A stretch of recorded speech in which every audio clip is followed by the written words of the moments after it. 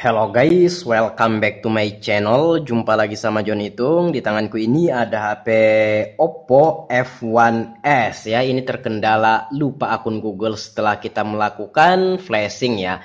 Dan juga kalau kita melakukan reset ini seperti ini juga kadang ya, lupa akun Google dan meminta verifikasinya. Bagaimana solusinya? Simple, mudah dan sederhana. Di sini kita kembali dulu aja. Ini adalah HP Oppo F1 S ya. Oke, kita ke emergency call atau panggilan darurat. Nah, di sini kita dial bintang pagar 813 dan yang terakhir adalah pagar.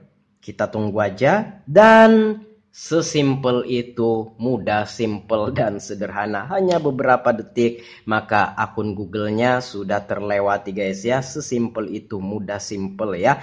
Oke, demikian semoga bermanfaat. Jikalau ada pertanyaan, komen aja guys ya. Saya akhiri, saya John Hitung. See you the next video, my brotherku.